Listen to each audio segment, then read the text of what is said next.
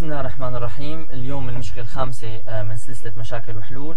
رح آه، المشكلة بتقول إن ادخال flash memory لا تتم أي استجابة. يعني الفلاشة ما عم تظهر لدينا. الدرس مثل العادة فينا نسحب من الإنترنت. هذا الموقع ظاهر قدامنا.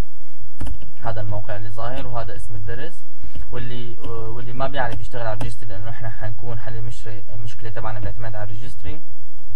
حيكون الدرس بعنوان R E G E D I T registry editor طيب نبلش بالمشكلة. نفتح جهاز الكمبيوتر.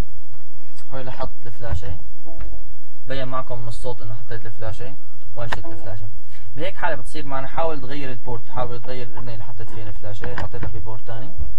كمان نفس القصة ما بصير أي استجابة. ما بحسن نشوف ال flash memory هي المشكلة من ال Windows نشوف كيف بنحلها هنروح على ال registry editor نروح على مفتاح اسمه local machine ننزل على system current control set. ننزل على services. هلا هون مشان ما نتعذب حنكتب control F ونحط USB إذا كان في ماتش ما بدنا إياها. USB store على ما أذكر.